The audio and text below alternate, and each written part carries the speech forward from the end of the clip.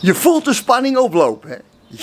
Ja, er zit misschien een kabinetscrisis aan te komen. Ja, je, je hoort al nu mensen in hun handen wrijven. Ja, mensen zijn er nu al enthousiast over het idee dat, dat het uit elkaar zal vallen, het kabinet. En ik denk zelfs dat je straks gewoon plop hoort. Plop. Je hoort gewoon. Gewoon de knal van de opluchting in Nederland. Dat het eindelijk gedaan is. Er eindelijk verkiezingen gaan komen. Maar ja, vrienden. Hé, hey, ik heb. Ja. Kijk uit, hè. Trap er nou niet in wat er zich afspeelt. Want, kijk uit hè, die Rutte die is zo slim als wat vrienden. Kijk, wat hij heeft gedaan. Hij heeft de afgelopen jaren heeft hij dat hele asielgebeuren op laten lopen, op laten lopen. Is mede verantwoordelijk voor de puinhoop die er is ontstaan. Ja, ja, oortjes laten hangen. Ja, na D66.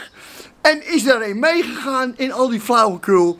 En ja, en, en nu, wat doet hij nu?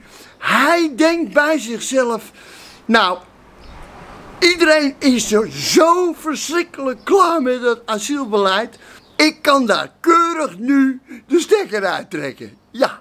En dan zal iedereen zeggen, nou, zie je nou wel, die VVD, die willen er toch wel iets van maken met dat asielgebeuren. Ja, ja, hey, dag, ja, maar daar trappen we toch niet in, vrienden? Nee, want het is een beetje zo van, ja, ik dump gewoon een hele uh, vrachtwagen met stront. Die dump ik bij jou in je tuin. Ja, en na een week haal ik al die stront op, die ruim ik op. En dan ben ik ook nog zo brutaal om aan te bellen en te zeggen: Mag ik even een beloning voor het opruimen? Ja, dat is Rutte. Kijk, daar trappen we natuurlijk niet in. Nee. En ik heb de ober. Ja, jullie kennen hem wel. Die ober die altijd keurig komt afrekenen. Ik heb hem gezien, ik heb hem gesproken. En ik heb tegen hem gezegd: Hé hey vriend, kom even hier. Ik zeg: Je gaat toch wel D66 straks afrekenen op dit hele gedoe. Ja, ja, ja, hij. Nee, die rekening die heb ik al uitgeschreven. Ik zeg, en vergeet niet, ook de VVD, hè.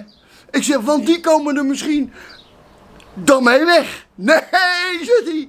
Nee, dat gaat niet gebeuren. Nee, ik zal ook de VVD afrekenen.